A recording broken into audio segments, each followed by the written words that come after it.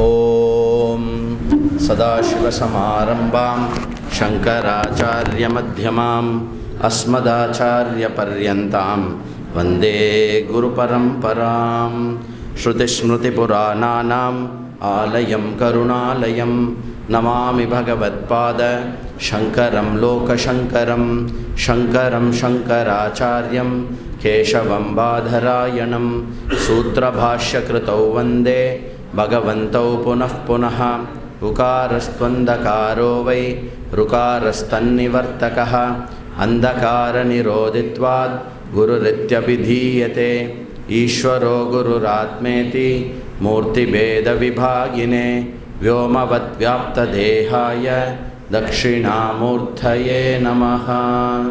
ॐ भद्रं कर्णे विशृणुयामदेवाः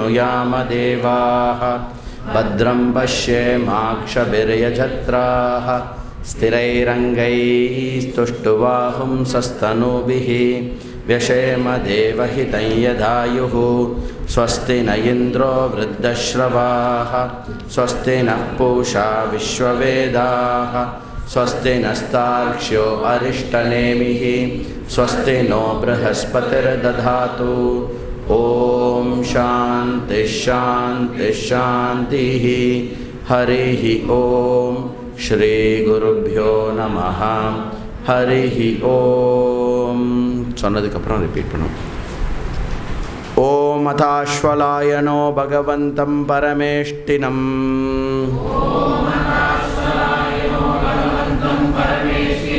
उपसमेत्योवाच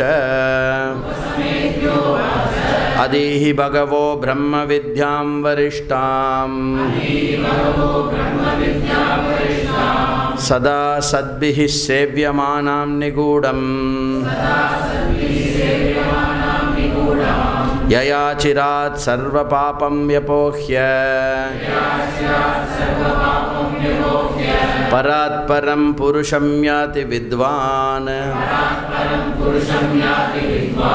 तस्मै सहोवाच।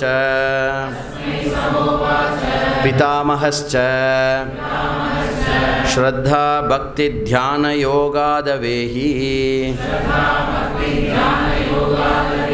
न कर्मणा न प्रजया धनेन त्यागेनैके अमृतत्वमानशुः परेण नाकं निहितं गुहायाम्। विभ्राजते यत्यतयो विशन्ति। वेदान्तविज्ञानसुनिश्चितार्ताः सन्न्यासयोगात्यतयः शुद्धसत्त्वाः ते ब्रह्मलोकेषु परान्तकाले। परामृता परिमुच्यन्ति सर्वे। विविक्तदेशे च सुखासनस्तः शुचिः समग्रीव शरी समग्रीवशिरः शरीरः। अत्याश्रमस्तः सकलेन्द्रियाणि। निरुध्य भक्त्या स्वगुरुं प्रणम्य। हृत्पुण्डरीकं विरजं विशुद्धम् विचिन्त्य मध्ये विशदं विशोकम्। अचिन्त्यमव्यक्तमनन्तरूपम्। शिवं प्रशान्तममृतं ब्रह्मयोनिम् तदादिमध्यान्तविहीनमेकम्। विभुं चिदानन्दरूपमद्भुतम् उमासहायं परमेश्वरं प्रभुम् त्रिलोचनं नीलकण्ठं प्रशान्तम् ध्यात्वा मुनिर्गच्छति भूतयोनिम् समस्तसाक्षिं तमसः परस्तात् स ब्रह्मः स शिवः सेन्द्रः। सोऽक्षरः परमस्वराट्। स एव विष्णुः स प्राणः। स कालोऽग्निः स चन्द्रमा स एव सर्वं यद्भूतं यच्च भव्यं सनातनं ज्ञात्वा तं मृत्युमत्येति। नान्यः पन्था विमुक्तये। सर्वभूतस्तमात्मानं सर्वभूतानि चात्मनि सम्पश्यन् ब्रह्मपरमं याति नान्येन हेतुना आत्मानमरणिं कृत्वा प्रणवं चोत्तरारणिं ज्ञाननिर्मतनं निर्मतनाभ्यासात् पाशं दहति पण्डितः स एव माया परिमोहितात्मा। शरीरमास्ताय करोति सर्वं स्त्रियन्नपानादिविचित्रभोगैः। स एव जाग्रत्परितृप्तिमेति। स्वप्ने सजीवः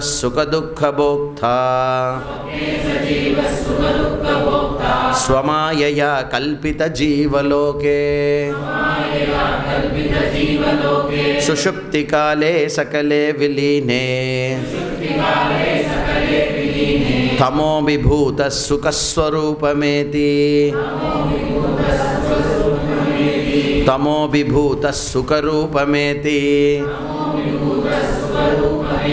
पुनश्च जन्मान्तरकर्मयोगात्।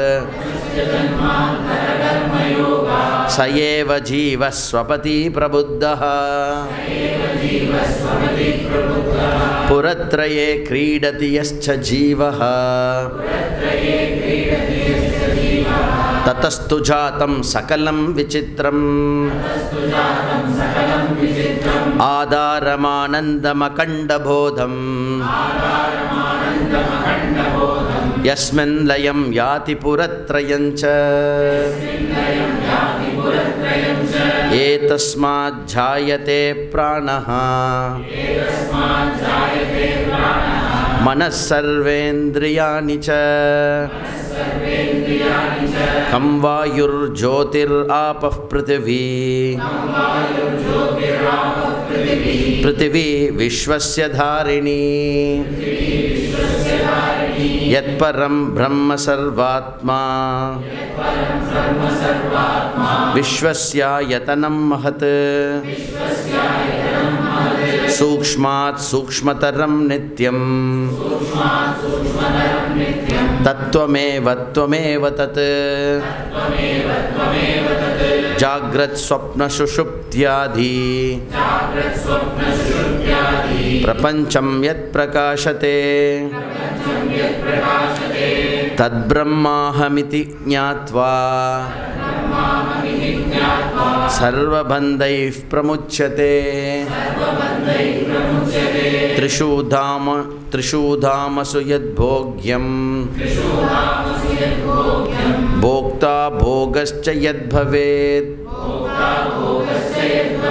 तेभ्यो विलक्षणः साक्षी।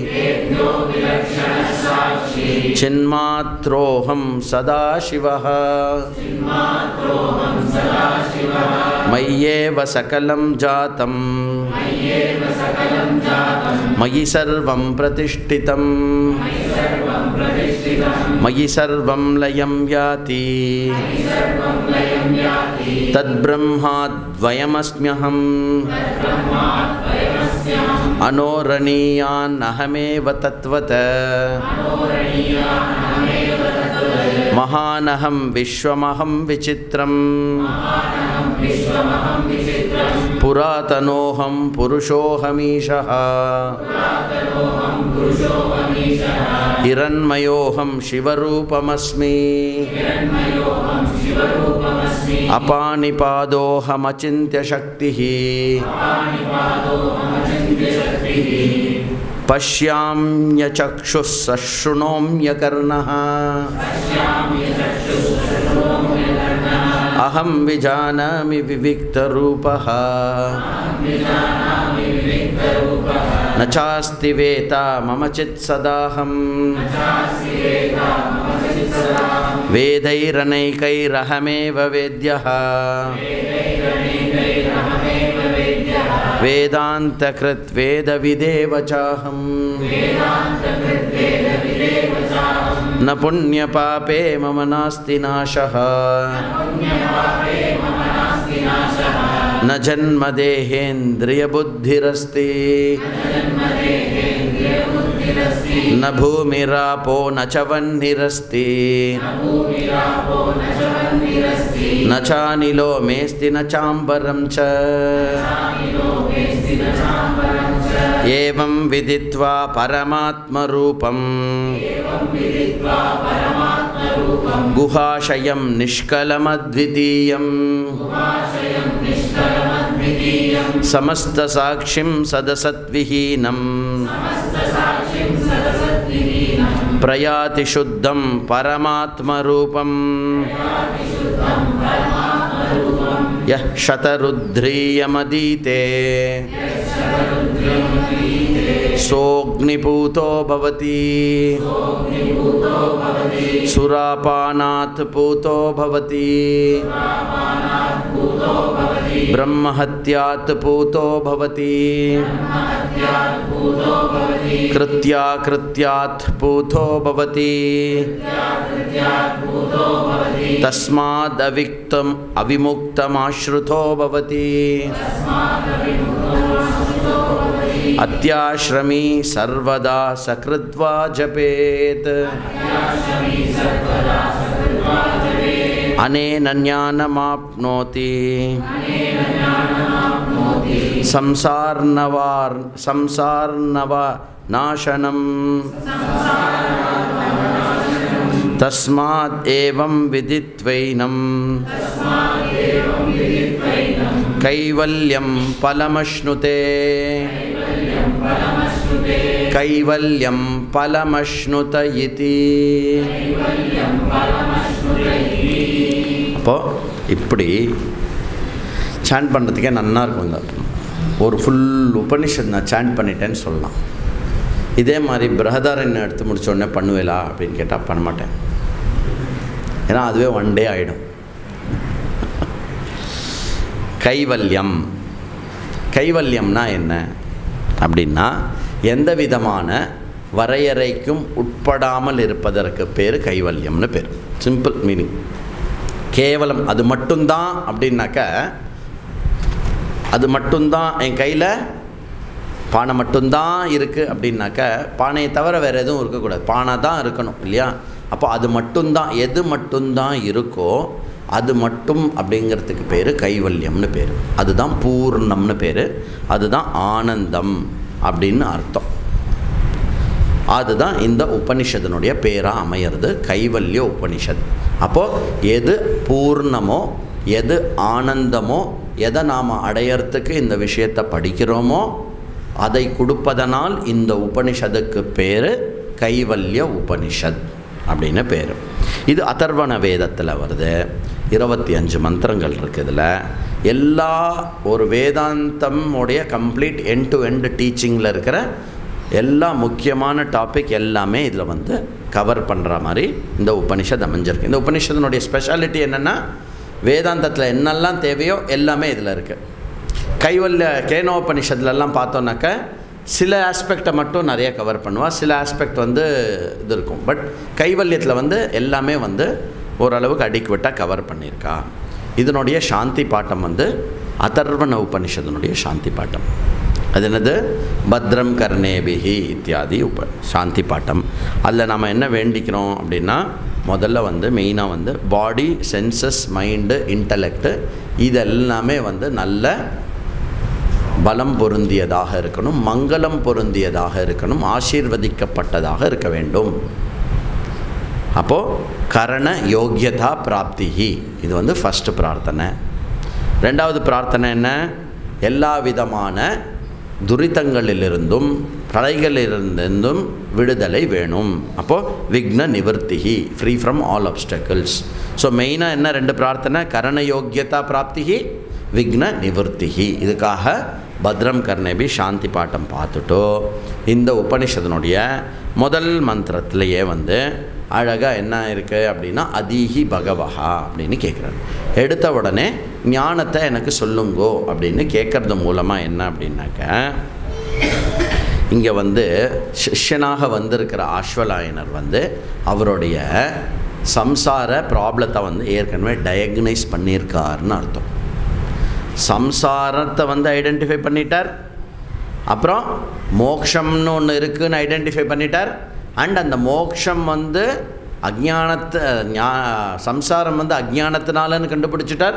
தேர்ஃபோர் மோக்ஷம் வந்து ஞானத்தினாலன்னு கண்டுபிடிச்சிட்டார். அதனால் வந்து அவரை வந்து உத்தம அதிகாரியாக கருதப்படுறது. ஒரு உத்தம அதிகாரி மந்த அதிகாரி மத்தியம அதிகாரினா இந்த ட்ராவலில் அவன் எங்கே இருக்கானோ அதை பொறுத்து அவனுடைய கிரடேஷனை வந்து சும்மா இண்டிகேஷனுக்காக சொல்லுவான். அப்போது மோக்ஷத்தினால மட்டும்தான் ஞானம் அப்படிங்கிறது வந்து அவருக்கு வந்து ஒன் ஃபஸ்ட்டு பாயிண்ட் வந்து என்ன மந்திரத்தில்? ஃபஸ்ட்டு பாயிண்ட் வந்து அவர் வந்து அவருடைய சம்சார பந்தத்தை கண்டுபிடிச்சி அதுலேருந்து மோட்சம் அடையணும் அப்படின்னு கண்டுபிடிச்சிருக்கார் நம்பர் ஒன் நம்பர் டூ அந்த மோட்சமானது வந்து ஞானத்தினால தான் அடைய முடியும் அப்படின்னு கண்டுபிடிச்சிருக்கார். நம்பர் த்ரீ அந்த ஞானமானது வந்து சாஸ்திர பிரமாணத்தினால தான் ஏற்படும் அப்படிங்கிறத கண்டுபிடிச்சிருக்கார். நம்பர் ஃபோர் அந்த சாஸ்திரமானது குருவோட சேர்ந்து விசாரம் பண்ணி தான் தெரிஞ்சுக்கணுங்கிறதையும் கண்டுபிடிச்சிருக்கார். எதுக்கு இந்த நாலு லெவல் சொன்னேன்? இந்த நாலு லெவலில் வந்து நாமளும் வந்து இந்த நாலு லெவலில் ஜெல்லாகி படிக்க வேண்டிய இந்த ஒரு விஷயம் அது. ஒவ்வொரு மாணவனும் இந்த மாதிரி படிக்க வேண்டிய விஷயம். அப்போது மோக்ஷார்த்தம் ஞானம் ஞானார்த்தம் சாஸ்திரம் சாஸ்திரார்த்தம் குரு. இதுதான் ஸ்ட்ரக்சர். இது வந்து முதல் மந்திரத்தினுடைய சாராம்சம். ரெண்டாவது மந்திரத்தில் ரெண்டாவதுலேருந்து நாலாவது என்ன சொல்கிறேன்னா ஞான சாதனமும் ஞான பலத்தையும் வந்து ஜஸ்ட்டு வந்து மென்ஷன் பண்ணுறார் மென்ஷன்னா என்ன? இதனால் ஞானம் கிடைக்கும் அந்த ஞானம் கிடைக்கிறதுனால இந்த பலன் கிடைக்கும் அப்படின்னு அந்த விஷன் கொடுக்குறார். என்ன விஷன் அந்த ஞான சாதனம் என்ன? ஃபஸ்ட்டு பார்ட்டு ஞான சாதனம் அகெயின் ரெண்டாக பெரியது சாக்ஷாத் சாதனம் அப்புறம் சககாரி சாதனம். சாக்ஷாத் சாதனம் என்ன? ஸ்ரவணம் மனனம் நிதித்தியாசனம். ஸ்ரவணம்னா என்ன? Systematic consistent for a length of time under the guidance of a ஒரு வார்த்தை விட்டுட்டேன் காம்பீட்டன்ட் குரு அ காம்பீட்டன்ட் குரு சரியா? இந்த காம்பீட்டன்ட் குரு யாரெல்லாம் நம்ம முண்டக்கத்தில் பார்த்தோம். காம்பீட்டன்ட் குரு இது ஸ்ரவணம். மனநம்னா என்ன? ரிமூவல் ஆஃப் இன்டலெக்சுவல் அப்டக்கிள்ஸ் புத்தியில் என்னெல்லாம் நமக்கு தடைகள் இருக்கோ அந்த தடைகள் எல்லாம் நீக்கிறதுக்கு பேர் மனநம்னு பேர். நிதித்தியாசனம். நிதித்தியாசனம்னா என்ன? ரிமூவல் ஆஃப் எமோஷனல் ஆப்ஸ்டக்கிள்ஸ் இது வந்து நிதித்தியாசனம். அப்போது இதெல்லாம் இந்த ச சவணம் மனநம் இதெல்லாம் பண்ணணும் அப்படின்னாக்க நம்ம என்ன பண்ணணும் அப்படின்னா பொதுவாக இங்கே ஆஸ்வலாயனர் பிரம்மாஜியோடைய சம்பாதத்தில் என்ன ஏற்படுறது அப்படின்னாக்க இங்கே பொதுவாக வந்து ஒரு மனுஷனானவன் வந்து தான் சந்தோஷமாக இருப்பதற்கு இதெல்லாம் எனக்கு தேவை. நான் பாதுகாப்பாக இருப்பதற்கு இதெல்லாம் எனக்கு தேவை. நான் சாந்தமாக பிரசாந்தியாக இருப்பதற்கு இதெல்லாம் எனக்கு தேவை. அப்படின்னு இருப்பான். இந்த சிரவண மனன நிதித்தியாசனத்தின் மூலமாக ஞானம் அடையிறதுனால என்ன ஆகுது? நான் பூர்ணமாக இருப்பது எது இருந்தாலும் எது இல்லைனாலும் நான் பூர்ணமானவன். எது இருந்தாலும் எது இல்லைனாலும் நான் முற்றிலும் பாதுகாப்புடையவன். எது இருந்தாலும் எது இல்லைனாலும் நான் இன்புற்றிருப்பவன். அப்போது இது இங்கிலீஷில் அழகாக வருது. என்ன? I require favourable conditions to be happy I require favourable conditions to be secured I required favourable conditions to be peaceful ஞானத்துக்கு அப்புறம் என்ன? ஞானத்துக்கு அப்புறம் வந்து my பூர்ணத்துவம் does not depend on any external factor so I am happy I am secured I am peaceful not because of but in spite of அதனால் இல்லை அது இருந்தாலும் இல்லாவிடிலும் நான் பூர்ணமானவன். பிகாஸ் ஆஃப்னு இருந்தாக்க அதாவது ஹாப்பினஸ் செக்யூரிட்டி அண்ட் பீஸ் இது வந்து பிகாஸ் ஆஃப் அப்படின்ற மென்டாலிட்டி இருக்கிறது மட்டும் அஜ்ஞானம். ஞானம் என்ன பண்ணும்? ஹாப்பினஸ் செக்யூரிட்டி அண்ட் பீஸ் வந்து in spite of Jagat or whatever things you put there இதுதான் ஞானத்தில் கொண்டு வர அந்த புத்திபூர்வமான ஒரு ஷிஃப்ட் ஓகே இதுதான் வந்து இந்த இந்த கடைசி பார்ட் இருக்குல்ல இந்த reorientation of the mind because ஆஃப்ல இந்த இன்ஸ்பைட் ஆஃப் அது நிதித்தியாசனத்தில் ப்ரிடாமினாக பண்ண வேண்டிய ஒரு விஷயம். அப்போது இதுக்கு வந்து டெக்னிக்கலாக அவருக்கு பிரம்மாஜியோடைய வார்த்தையில் சொல்லணும்னா ஸ்ரத்தா பக்தி தியான யோகாத் அவேஹி அப்படின்னு ஸ்ரத்தா பக்தி தியானத்தை வந்து ஸ்ரவண மனன நிதித்தியாசனம் அப்படின்றத சொன்னார். அதுக்கு சககாரி சாதனம் என்ன சொன்னார்? சககாரி சாதனம் தியாகம் வைராகியம் தேவைப்படுகிறது. சந்நியாசம் இல்லாமல் சங்கரர் திட்டவட்டமாக சொல்கிறார் சந்நியாசம் இல்லாமல் நீ சிரவணம் பண்ண முடியாது அப்படிங்கிறார். அப்போ அந்த சந்நியாசத்துக்கு என்ன அர்த்தம் அப்படின்னா மனதினுடைய பக்குவம் மனதினுடைய ரெடினஸ் இருக்கு இல்லையா? அதுதான் சந்நியாசம். ஸ்ரவணம் ஆகுவதற்கு இங்கே எப்படி நம்ம ஒன் டூ த்ரீ ஃபோர் நாஷ்வலாயனர் பற்றி இது பார்த்தோம் இல்லையா? அந்த மாதிரி மனசனுடைய பக்குவம் ஏற்பட்டிருக்க வேண்டும். கர்மத்தினால இல்லை பிரஜைனால இல்லை இதனால் இல்லை அப்படின்னு நாம் புரிஞ்சுண்டு இது ஞானத்தினால மாத்திரம்தான் அப்படின்னு பண்ணி நம்ம வந்து போட்டுக்கணும். அப்போது காஷாயம் போட்டுக்கிறதோ காஷாயம் போட்டுக்காமல் இருக்கிறதோ இங்கே மேட்டர் கிடையாது. உண்மையான சந்நியாசம் எது? மனசளவில் உள்ளுக்குள்ளே சந்நியாசத்தோடு இருக்கிறது தான் விஷயம். ஞான பலம் என்ன சொல்கிறாரு வேதாந்த விஜான சுனிஷ்டிச்சார்த்தகா அப்படின்னு சொல்லி அந்த மந்திரத்தில் வந்து ஜீவன் முக்தியும் விதேக முக்தியும் ஞானத்துடைய பலன் அப்படின்னு சொல்கிறார் இதுதான் வந்து அழகாக சொல்கிறார் அதுக்கப்புறம் என்ன? ரெண்டாவது பார்ட்டு ஃபஸ்ட்டு வந்து குரு இன்ட்ரொடக்ஷன் அதுக்கப்புறம் குரு வந்து சென்றடைஞ்சார். அதுக்கப்புறம் வந்து ஞான சாதனமும் ஞான பலமும் மென்ஷன் பண்ணிவிட்டு இப்போ என்ன பண்ணுறாருன்னா தியானத்தை வந்து பிரம்மாஜி வந்து சொல்கிறார் அஞ்சுலேருந்து பத்து. அஞ்சாவது மந்திரத்துலேருந்து பத்தாவது மந்திரம் மட்டும்.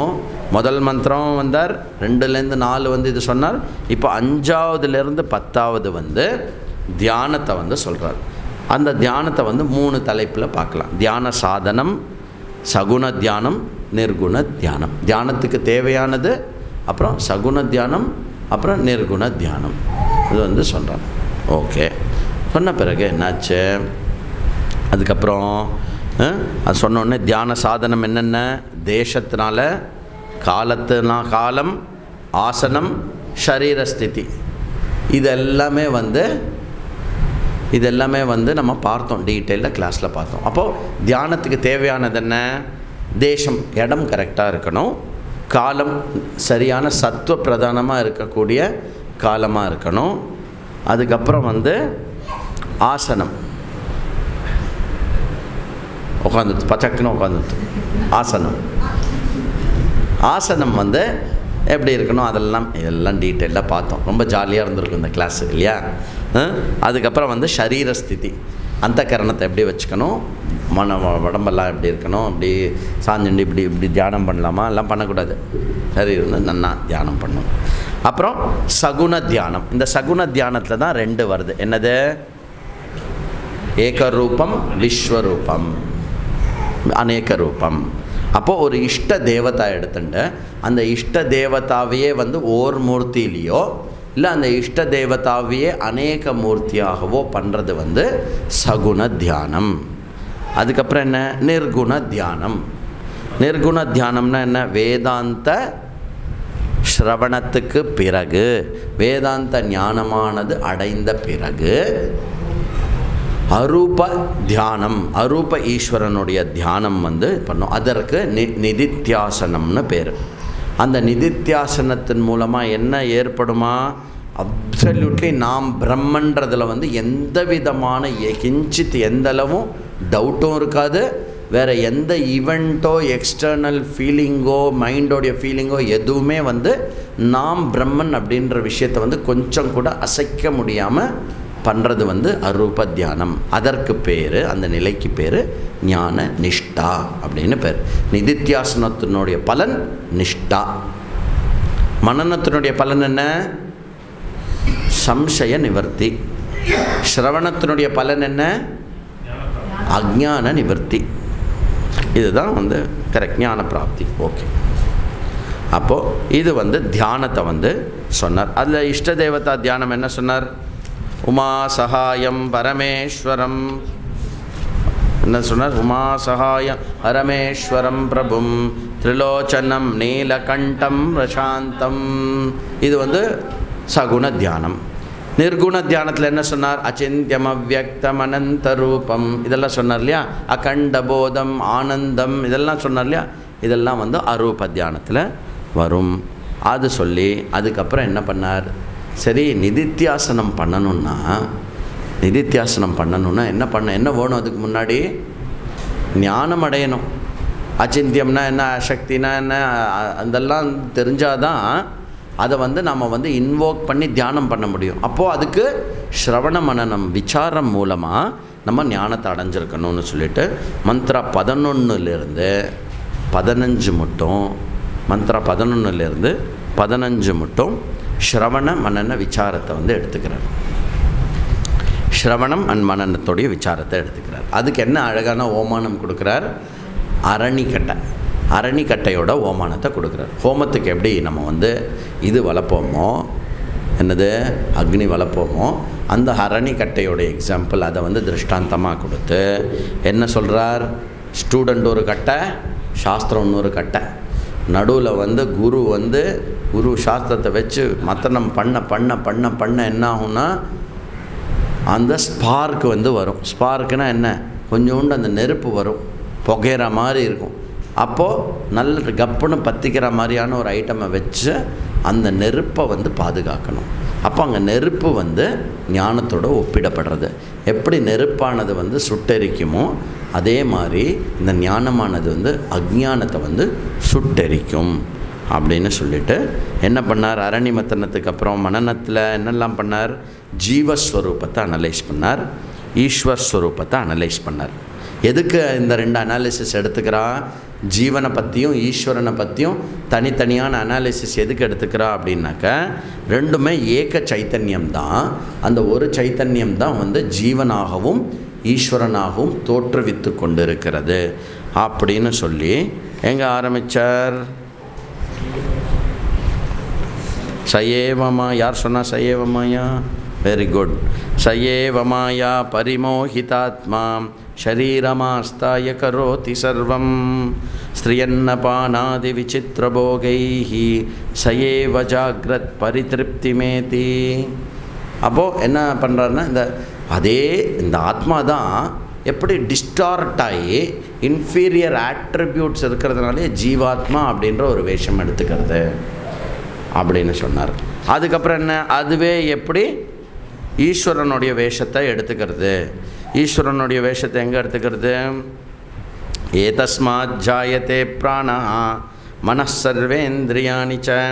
கம்வாயுர் வாயுர்ஜோதிராப பிருத்திவி விஸ்வசிய தாரிணி எத்பரம் பிரம்ம சர்வாத்மா விஸ்வஸ்யாயத்தனம் மகத். அப்போது அதே ஆத்மா தான் சமஸ்த விஸ்வமாகவும் டோட்டாலிட்டியாகவும் வருகிற தோற்றம் அளிக்கிறது. அப்படின்னு சொல்லி ஒன்று இன்ஃபீரியர் ஒன்று இது டோட்டல் அப்போ இன்ஃபீரியருடைய ஆட்ரிபியூட்ஸ் என்ன? ஜீவாத்மாவுடைய ஆட்ரிபியூட்ஸ் என்ன? ஆத்மா. ஜீவாத்மாவாக தோற்றமளிக்கும் பொழுது அதை வந்து அல்பம்னோ சப்ஜெக்ட் டு பர்த் அண்ட் டெத்துனோ அதுக்கப்புறம் வந்து அல்பஜம்னோ கர்த்தானும் போக்தானும் அது வந்து ஆட்ரிபியூட்ஸ் எடுத்துக்கிறது. அதே ஆத்மா டோட்டாலிட்டியில் ரிஃப்ளெக்ட் ஆகும்போது சர்வஜா சர்வசக்திமான் சர்வேஸ்வரத்வா கூட்டஸ்தகா இந்த மாதிரிலாம் வருது. என்னது? கர்ம பல தாத்தா முக்கியமாக கர்த்தா போக்தாக்கு டோட்டாலிட்டி என்ன? கர்மபல தாத்தா அப்படிலாம் எடுத்துக்கிறது. இப்போது நி நிர்குண சைத்தன்யத்துக்கு என்ன குணம் இருக்கு? நிர்குண சைத்தன்யத்துக்கு எந்த குணம் இருக்கு? அதான் நிர்குணம்னு சொல்லிட்டு கம்பராமாயணத்தை ஏற்றியவர் யார்? கம்பராமாயணத்தை ஒரு குழு ஏதாவது இருக்கா? சாய்ஸ் இருக்கா? அப்படிலாம் கேட்பான். ஏய் கம்பராமாயணத்தை இது- இதுக்கு மேலே குழு கொடுக்க முடியாது. ஆன்சர் சொல்லிட்டு தான் நான் கொஸ்டினே கேட்டிருக்கேன். அப்படின்னு வேற சொன்னாலும் அப்படியா இருங்க. நான் எங்கள் அப்பாவை கேட்குறேன். அப்படின்னு.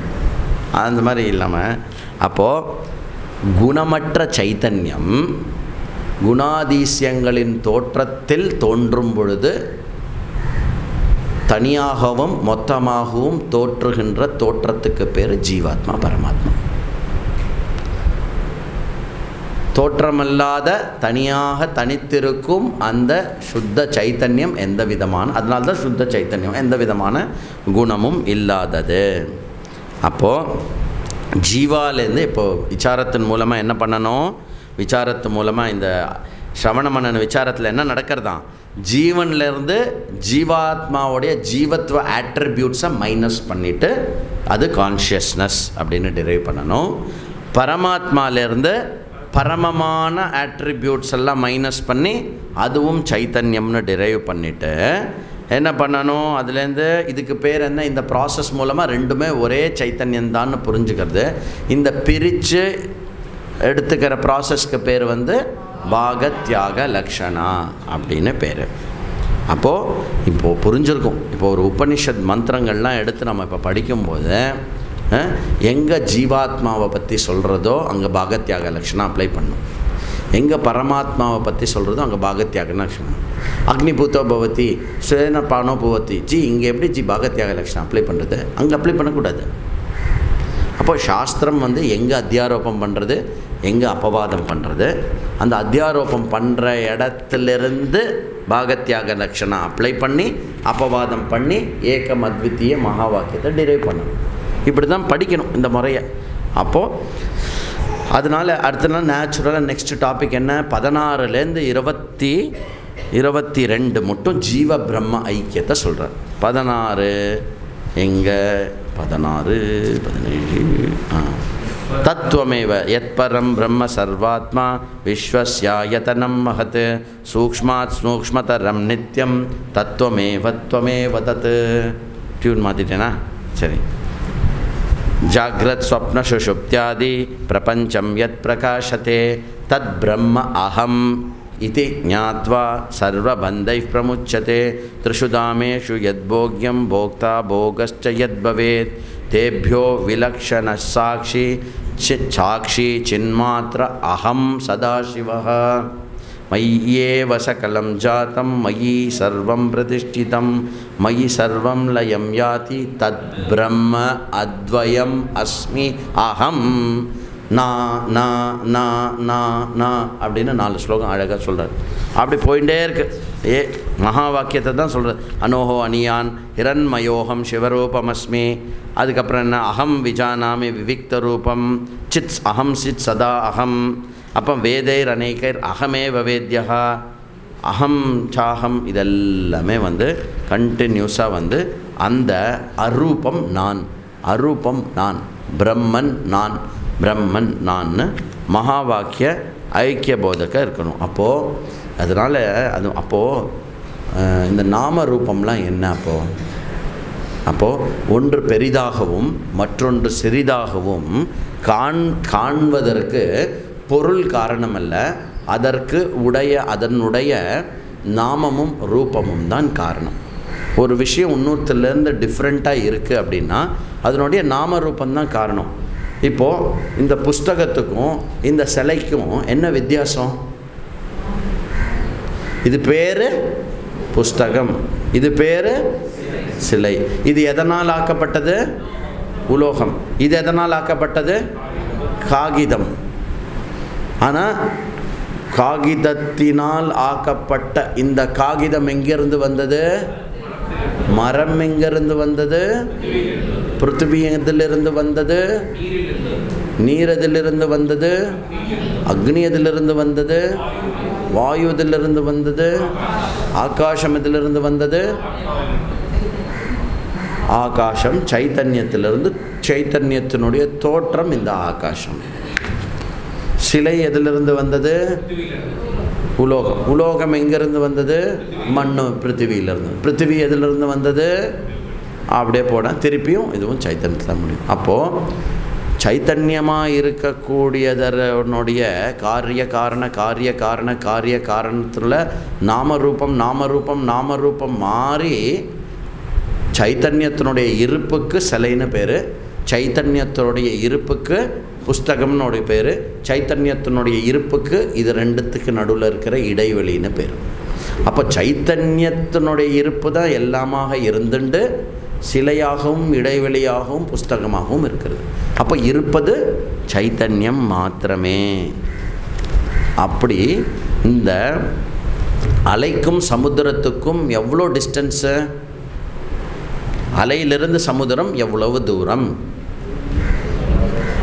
ஆசிரியாரே கேள்வி தவறு. சமுத்திரத்தில் தான் அலை இருக்கிறது. சரி. அலையில் என்ன இருக்கிறது? தண்ணீர். சமுத்திரத்தில் என்ன இருக்கிறது? தண்ணீரே இருக்கும்போது அதில் இது இதில் அதுன்னு சொல்லுவதும் தவறு இல்லையா? அப்போது இருப்பது தண்ணீர் மாத்திரமே. அப்படி இந்த நேம் அண்ட் ஃபார்மை நம்ம வந்து ஒன்று நாமரூபத்தை பிரிக்கணும். அந்த நாமரூபத்தில் காரிய காரண விலட்சணம் பண்ணோன்னா இருக்கிறது ஏகம் அத்விதீயம் பிரம்ம. அது எவ்வளோ பெரிய விஷயமா இருக்கலாம்? ஏன்? நாம் கும்பிடுற சாமியாகவே இருக்கலாம் நானாக கூட இருக்கலாம். ரெண்டுமே வந்து ஒரே சைத்தன்ய ஸ்வரூபம்தான் அப்படின்னு சொல்லி இருபத்தி மூணாவது மந்திரத்தில் வந்து இப்படிப்பட்ட ஞானத்தை தெரிந்து கொண்டவனுக்கு அப்படிப்பட்ட ஞானத்தை தெரிந்தவனுக்கு பிரயாத்தி சுத்த பராத்பரம் அப்படின்னு பலனை சொன்னார். அதுதான் நம்ம இப்போ ஜஸ்ட்டு பார்த்துக்கணும். சமஸ்த சாட்சியம் சதசத் விஹீனம் அப்படின்னு பார்த்துட்டோம். இருபத்தி நாலு இருபத்தி அஞ்சு இருபத்தி நாலு இருபத்தி அஞ்சில் திருப்பி உபசம்ஹாரம். உபசம்ஹாரம் பண்ணுறார் என்ன உபசம்ஹாரம் பண்ணுறார் யார் வந்து தன்னை சககாரி சாதனத்தின் மூலமாக அங்கே என்ன பார்த்தோம்? ஞான சாதனம் ஞான பலம் பார்த்தோம் இல்லையா? அங்கே என்ன ஞான சாதனம் பார்த்தோம்? சாக்ஷாத் சாதனம் அண்ட் சககாரி சாதனம் பார்த்தோம் இல்லையா? இங்கே அதே சொல்லி முடிக்கிறார். சககாரி சாதனம் அண்டு சாக்ஷாத் சாதனம். சககாரி சாதனம் வந்து யோ சதருத்ரியம் அதீத்தே சதருத்ரியம் அதீத்தே அக்னிபூத்தோபவதி பாப்பங்களிலிருந்து விடுபட்டு அவன் வந்து தூயவன் ஆக்கி வைத்தார். துன்ப புடத்தில் இட்டு தூயவன் ஆக்கி வைத்தாய்.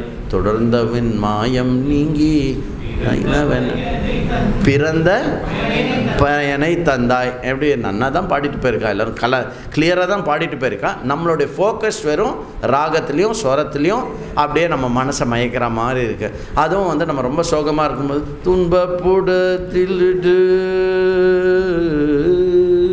ஆஹா ஆஹா சூதிங்காக இருக்குது அவ்வளோதான் நமக்கு தேவை. நமக்கு வந்து நீ எப்போவுமே துன்பப்படாமல் நான் இருக்கணுன்ற விஷயமே கேட்க மாட்டேங்கணும் இப்போ இந்த துன்பம் போனால் போகிறோம் அப்படின்னு இருப்போம் அந்த மாதிரி சதருத்ரியம் அது மூலமாக எல்லா விதமான பாப்பத்திலிருந்து நீக்கி அதுக்கப்புறம் என்ன? அனேன ஞானம் ஆப்னோத்தி அனேன மேலான அதுக்கப்புறம் மேலே உள்ள அனைத்து விதமான சாதனங்கள் கர்மயோகம் உபாசன யோகம் அதுக்கப்புறம் ஸ்ரவணம் மனனம் அதன் மூலமாக நிதித்தியாசனத்தின் மூலமாக ஞானம் ஆப்னோத்தி அவர் வந்து என்ன ஆறுது அவளுக்கு? கைவல்யம் பலம் அஷ்ணுதே. அதுதான் இந்த முடியரோட வச்சு தான் இந்த உபனிஷத்துக்கு பேர். இந்த என்ன பலமா? கைவல்யம் கிட்டும் கைவல்யம் கிட்டும் இவ்வாறு. ரெண்டு வாட்டி சொன்னால் அந்த செக்ஷன் முடியறது அப்படின்னு அர்த்தம். அப்புறம் அனலைஸ் பண்ணால் அப்போ இங்கே சத்தருத்ரியத்தை பற்றி சொல்லும்போது ஒரு விஷயத்தை எடுத்து விசாரம் பண்ணோன்னா அது ஞானத்தை கொடுக்கும். ஒரு விஷயத்தை எடுத்து பாராயணம் பண்ணோன்னா அது என்ன கொடுக்கும்? புண்ணியத்தை கொடுக்கும் சித்த சுத்தியை கொடுக்கும். சிம்பிள் அப்போது இதே கைவல்ய உபநிஷத்தை வந்து ஓ அதிஹி பகவோ பிரம்ம வித்யாம் வரிஷ்டாம். அப்படி சகோவாச்ச பரமேஷ்டினம் மகனந்தம் டெய்லி பாராயணம் பண்ணுறோன்னு வச்சுக்கோங்களேன். சித்தசுத்தி ஏற்படும். அது வேதத்தோடைய ப்ராமிஸ் இது இல்லை அது என்ன தான் சொல்கிறது அதோடைய அர்த்தம் என்ன? அது எப்படி எனக்கு ரெலவெண்ட்டாக இருக்குது நான் அதில் எங்கே இருக்கேன்? நான் இனிமேல் எவ்வளோ படிக்கணும்? என்ன பண்ணணும்? அப்படின்னு பண்ணோன்னா இதே மேட்டர் ஞானத்தை கொடுக்கும். அப்படி கைவல்யம் பலம் அஷ்ணுத கைவல்யம் பலம் அஷ்ணுத இத்தி அப்படின்னு சொல்லி இந்த உபனிஷதானது அழகாக முடியறது. இந்த விஷயத்தை வந்து நம்ம திரும்ப திரும்ப எப்பெல்லாம் முடியுமோ ஞாபகப்படுத்தி திருப்பி திருப்பி இந்த கிளாஸை கேட்போமாக. ஓம் பூர்ணமத பூர்ணமிதம் பூர்ணாத் பூர்ணமுதச்சதே. பூர்ணஸ்ய பூர்ணமாதாய பூர்ணமேவாவசிஷ்யதே. ஓம் சாந்தி சாந்தி சாந்தி ஹரி ஓம் ஸ்ரீ குருப்பியோ நம ஹரி ஓம். சூப்பர் ஃபார்ட்டி மினிட்ஸில் முடிஞ்சிருச்சு